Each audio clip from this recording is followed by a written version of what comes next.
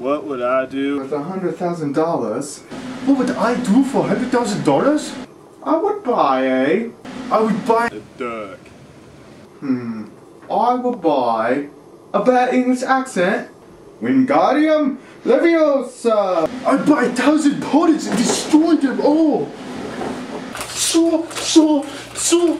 Maybe buy one or two gooses.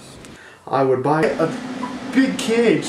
I would buy a broomstick that actually flies. Because I ran over the last one. It shattered into a million pieces. It didn't work very well. Kumpiro! I'd buy a real sword. I would buy another trash can. Some fence posts. A clump or two of dirt. And a nice big green tractor. I'll give you the money. So I can kick you in the teeth. I was just kidding. I would like to give the money to. I don't know that word. It's charity. Ooh, I would give it to my favorite foundation ever, the Harry Potter fan club. This is what I think of charity. But first, I would buy some dragons. Gah!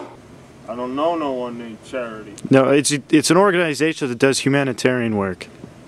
I can understand eating vegetables, but I don't know no humans that eat humans. You vote for me. I peel your first like banana. No, hu- humanitarian doesn't mean eating Don't use people. your witchcraft words on me. Pero Zuzu from Gravity Poo.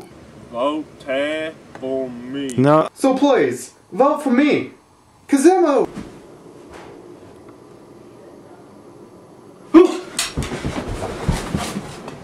Cut it. I guess we're done.